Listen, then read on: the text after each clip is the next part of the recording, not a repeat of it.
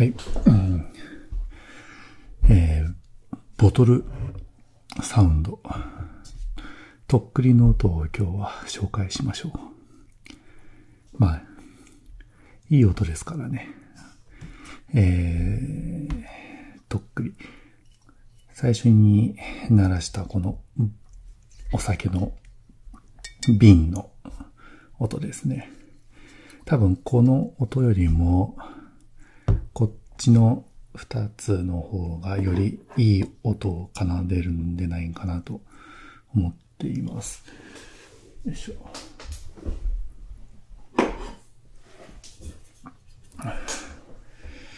えーですね。これは飲む用です。中は、あの、水です。撮影用にお酒じゃなくて水を使ってます。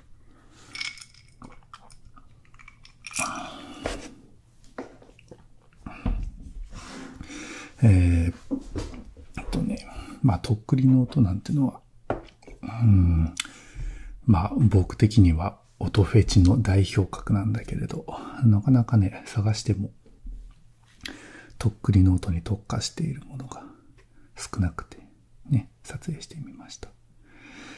えー、まずまだこの中空っぽなので、ちょっと水を入れていくんだけれど、これはね、備前焼きです。えー、もう古いものですね。うん。これは、あの、古民家を解体するときに、軒下に埋まっていたものです。で、僕最初これ昔見つけたときは、花瓶だと思ってましたね。うん。でも、とっくりです、これね。お酒を入れるためのとっくりです。ね、備前焼き。古いものですね。まあどれぐらい古いのかわからないけれども、まあ江戸時代よりも昔でしょう。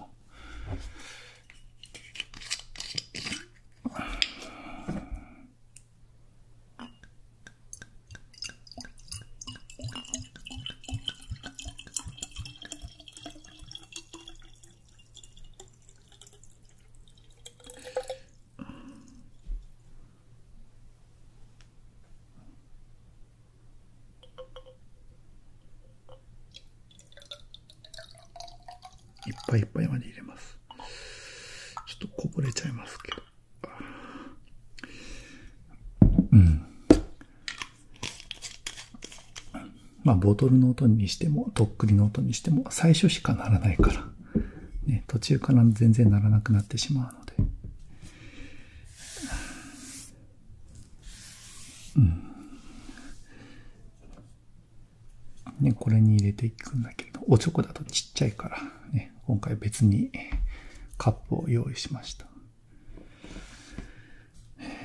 備前焼のとっくりの音。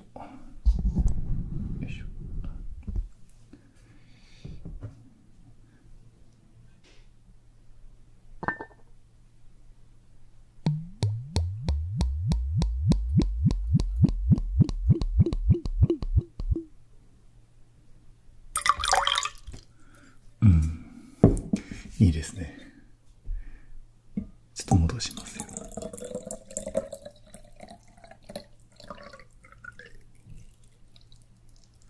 もう一度。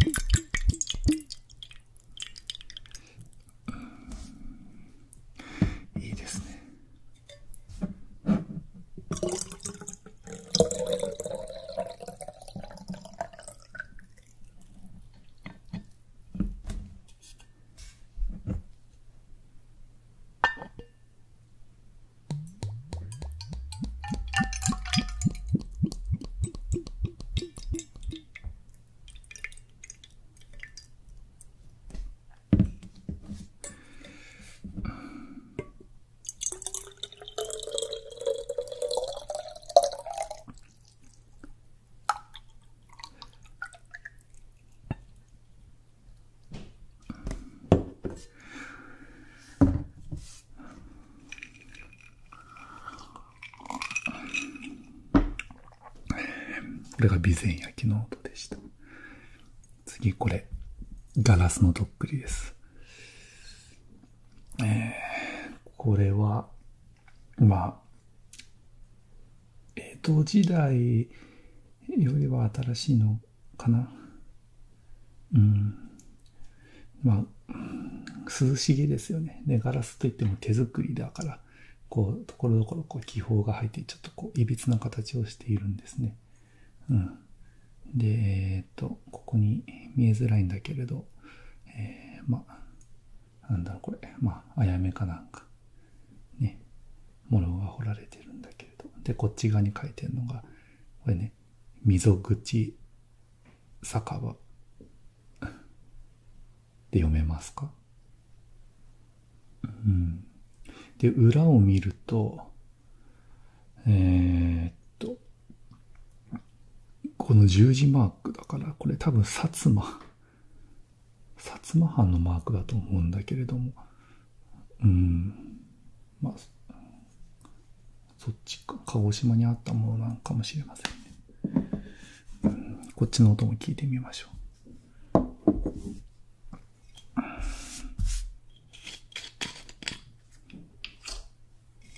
ょっと水をまず入れますね。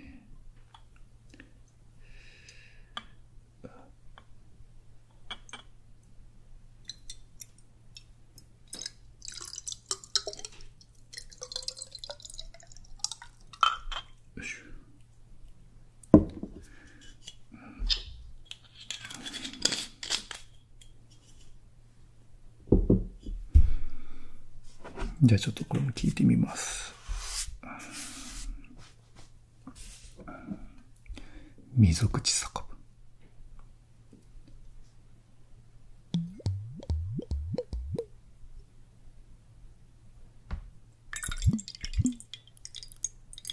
うん。備前の方が音がいいですね。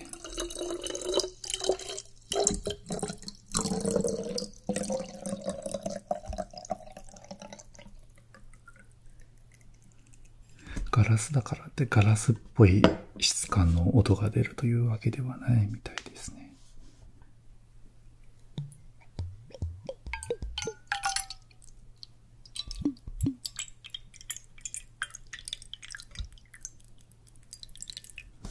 うん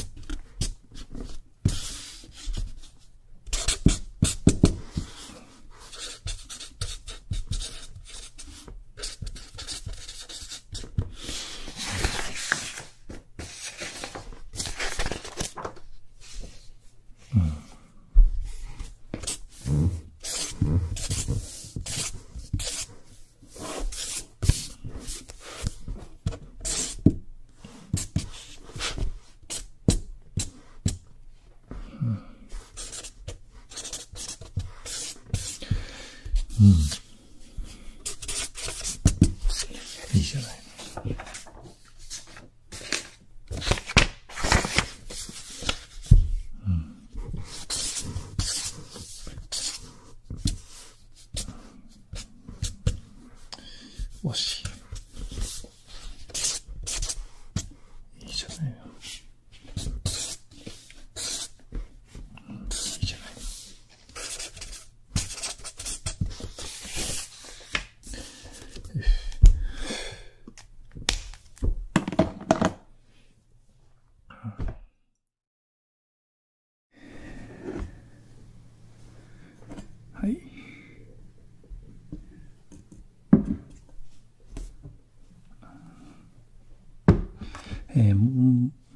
1種類とっくりがあるんだけれど、赤絵のとっくり。これも、まあなんか名が書いてるけれどもよくわかんないね。まあこれも江戸よりも古い昔のとっくりですよ。二つペアになってるんだけれど、赤絵っていうのはこれね、こういう模様のこと。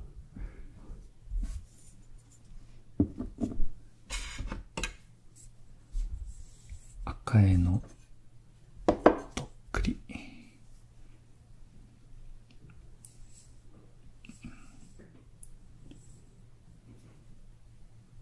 こうね、もう裏を見たらわかるけど、いかにも古いものであるかっていうことがよくわかりますね。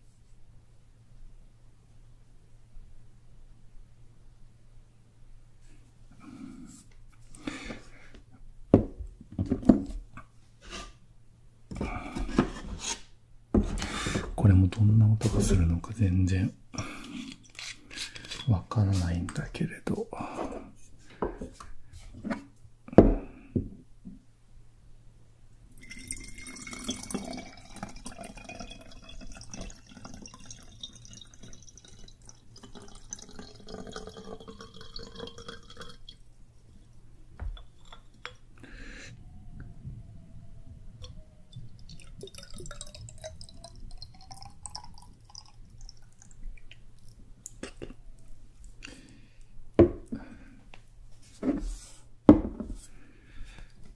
さあ、どんな音が鳴る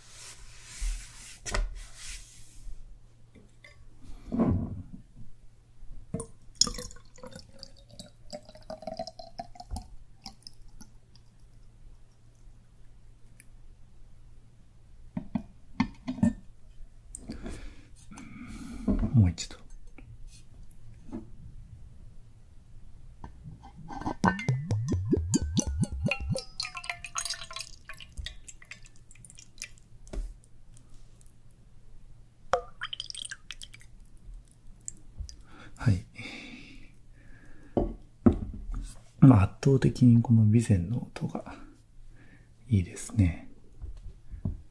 低音が響くような、そんな音ですね。ちょっ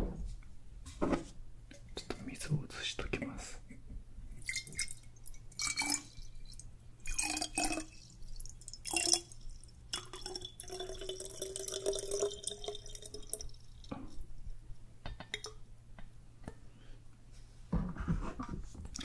はい。えー、最後にこの、じゃあ、備前のとっくりの音を何回かリピートして終わります。ご清聴ありがとうございます。